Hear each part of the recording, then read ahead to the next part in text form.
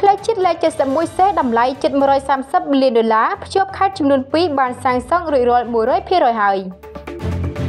ស្រាលស្រទន់ជួបជុំបានយូរសង់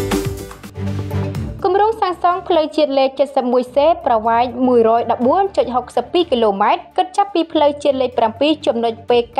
150បូក700ក្នុងខេត្តត្បូងឃ្មុំទៅដល់ផ្លូវជាតិលេខ71ចំណុច PK 30បូក400ខេត្តកំពង់ចាមបច្ចុប្បន្នសម្រេចបាន100%ហើយដោយក្រុងនឹងសម្ពោធដាក់ឲ្យប្រើប្រាស់ជាផ្លូវការនាពេលឆាប់ៗខាងមុខនេះយោងតាមទំព័រ Facebook របស់សម្ដេចធិបតីហ៊ុនម៉ាណែតនាយករដ្ឋមន្ត្រីនៃកម្ពុជាកាលពីថ្ងៃទី15កក្កដា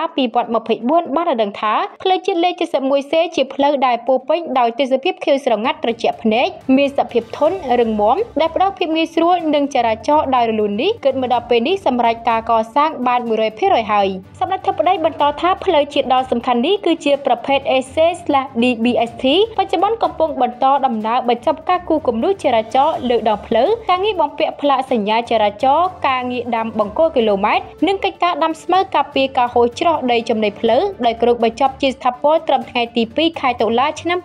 2024បន្ថែមពីនេះក្រុមហ៊ុនសាងសង់សៀងហៃក្រុបនិងទីប្រឹក្សាបច្ចេកទេសក្រុមហ៊ុនក្វាងជោគក្វាងអាននឹងបន្តថែទាំរយៈពេល24ខែបន្ថែមយោងតាមកិច្ចសន្យាសាងសង់គួររំលឹកផងដែរថាផ្លូវជាតិលេខ 71C ត្រូវបានសម្ពោធបើការដ្ឋានសាងសង់កាលពីថ្ងៃទី23ខែវិច្ឆិកាឆ្នាំ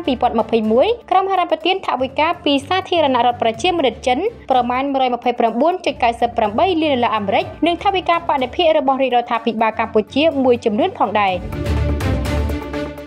ស្រាលស្រទន់ជួបជុំបានយូរ